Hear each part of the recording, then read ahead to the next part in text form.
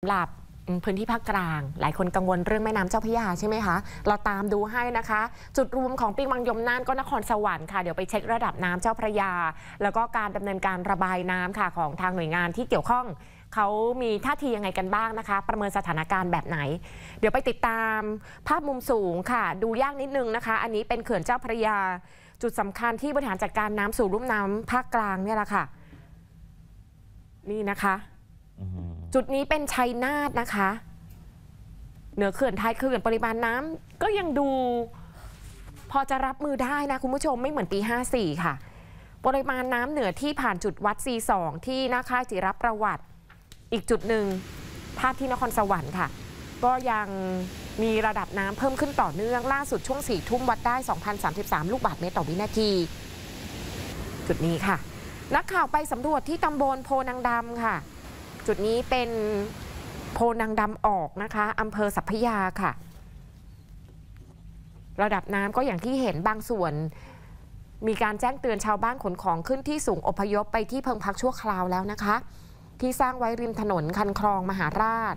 บางคนเริ่มไม่ไว้ใจสถานการณ์น้ำถ้าเขื่อนเจ้าพระยาระบายน้ำเกิน 2,000 ลูกบาศก์เมตรต่อวินาที น้ำน่าจะเอ่อล้นค่ะ ตามประสบการณ์ของคนในพื้นที่ เราไปดูที่ตำบลบางชะนีค่ะ ที่บางบานอายุธยาเป็นพื้นที่ลุ่มต่ำท่วมทุกปีอยู่แล้วค่ะย้ำนะคะว่าจุดนี้ท่วมแทบทุกปีอยู่แล้ว แม่น้ำเจ้าพระยาล้นตลิ่งท่วมชุมชนบางจุดกระแสน้ำก็แรงกัดซ้อจนดิน อะไรพังทลายไปนะคะ บางหลังก็มีน้ำเข้าแล้วเรียบร้อย ไปถามเจ้าของบ้านค่ะ คุณนวรัตน์มีสวัสดิ์อายุ 41 บอกเฝ้าดูน้ำทุก ๆ วันเลย กระทั่งตื่นมาเจอว่าน้ำล้นตลิ่งเข้าท่วมบ้านในพื้นที่ชุมชน ยังมีกัดเซาะฐานบ้าน เสาบ้าน โดยเฉพาะห้องนอนเห็นไหมฮะมันเป็นจุดต่ำอะกว่าระดับถนนน่ะนี่ตรงห้องนี่เหรอเออ ก็ผู้นำชุมชนเอากระสอบทรายมาขวางทางน้ำเพื่อลดความแรงค่ะ แล้วเธอเองก็เตรียมย้ายไปอยู่หอด้านนอกแทนแล้วค่ะ เพราะว่าถ้าน้ำท่วมมากกว่านี้เข้าออกลำบาก ส่วนผู้ใหญ่บ้านหมู่สี่คุณธงชัยชวีวันค่ะ บอกว่ามีชุมชนกว่า 165 หลัง ถูกน้ำท่วมแล้วคิดเป็น 70%ของพื้นที่ ก็ส่วนใหญ่ก็มีบ้านติดริมน้ำอยู่แล้ว บางบ้านนี่ เท่าที่เราเช็คข่าวมาตลอด 10 ปีคือท่วมตลอดนะคะนะครับส่วนทุ่งบางระกรรมนะครับ ตอนนี้ค่อนข้างจะน่าหนักใจ เพราะว่ารับน้ำเต็มพื้นที่แล้ว ชาวบ้านแถวนั้นนะครับ ก็เหมือนกับว่าเตรียมตัวเฝ้าระวังกัน 24 ชั่วโมงเลย บางหลังนี่น้ำท่วมไปเยอะแล้วเหมือนกันนะครับ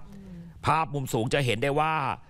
ลำน้ำยมทั้งสายเก่าสายหลัก หลากเข้าท่วมพื้นที่ไร่นาของชาวบ้านเป็นวงกว้างนะครับ ซึ่งเป็นพื้นที่ของทุ่งบางระกรรมโมเดลในจังหวัดพิษณุโลกและก็สุขโขทัยส่งผลให้พื้นที่อำเภอพรหมพิรามอำเภอเมืองพิษณุโลก และก็อำเภอบางระกรรม ถูกน้ำท่วมขัง ปริมาณน้ำนะครับ 440 ล้านลูกบาศก์เมตร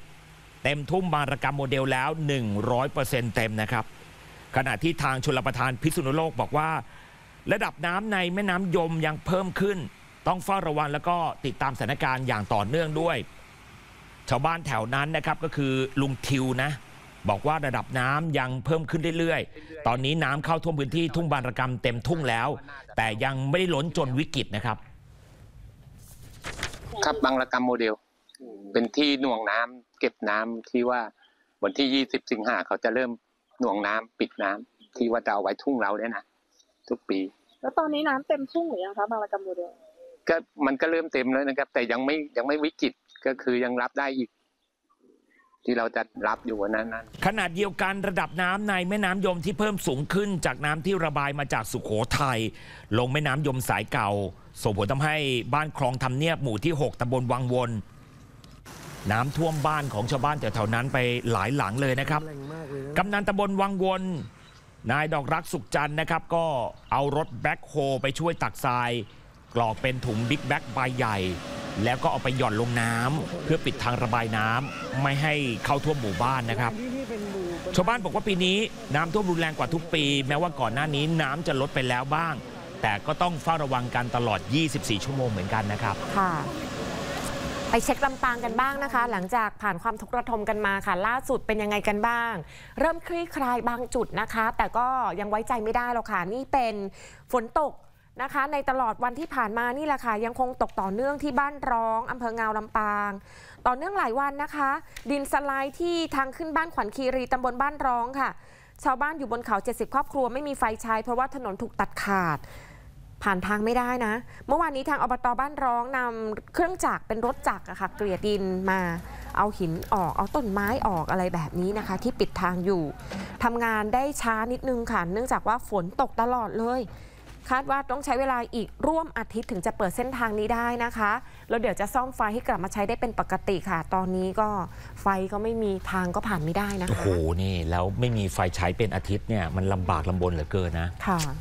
อะคุณผู้ชมครับช่อง 8 ก็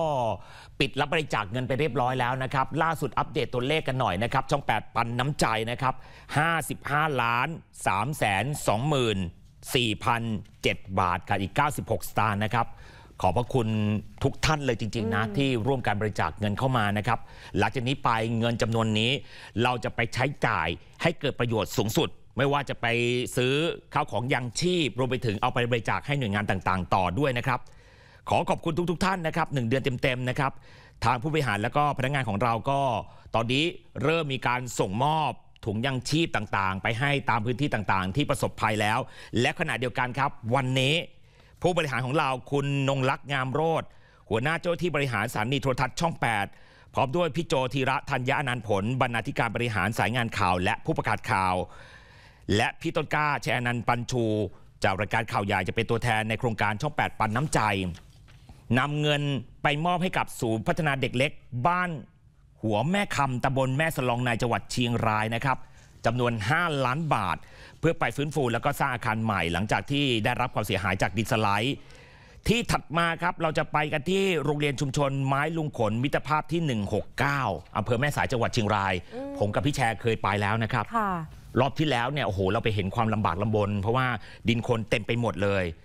รอบนี้นะครับ ทีมช่องแปดของเราจะกลับไปที่โรงเรียนนี้อีกรอบหนึ่งแล้วก็มอบเงินให้อีก 1 ล้านบาท เพื่อไปสร้างห้องสุขาใหม่ให้กับนักเรียน เพราะว่าห้องน้ำเดิมถูกดินโคลนทับถมสูงจนใช้งานไม่ได้เลยนะครับ และก็แห่งที่ 3 คณะผู้บริหารกับตัวแทนช่องแปดของเราจะเดินทางไปที่โรงเรียน รัฐราชวิทยา เล่าลิ้วอยู่ในอำเภอแม่ฟ้าหลวงจังหวัดเชียงราย จะไปมอบเงินให้อีก 1 ล้านบาท เพื่อสร้างกำแพงโรงเรียนใหม่ หลังจากที่พังทลายจากเหตุน้ำท่วมในครั้งนี้ด้วยนะครับค่ะคือคุณผู้ชมครับต้องเตือนกันนิดหนึ่งนะ เพราะว่าตอนนี้เชียงรายเห็นบอกว่าเทศบาลตำบลแม่สายออกประกาศเตือนมาบอกว่า น้ำอาจจะมาอีกรอบหนึ่งขอให้คนที่อยู่ในพื้นที่เสี่ยงน้ำท่วมอพยพไปอยู่ในที่ปลอดภัยกันสักนิดหนึ่งนะฮะโดยเฉพาะพื้นที่ที่เคยท่วมครั้งที่แล้วอะนะค่ะ อืม โอ้โห ยังคงต้องเฝ้าระวังกันต่อเนื่องเลยนะคะ ช่อง 8 ยินดีเข้าไปช่วยเหลือนะคะ ลองส่งข้อมูลกันเข้ามานะคะ ว่าต้องการในจุดไหนอย่างไรบ้างค่ะ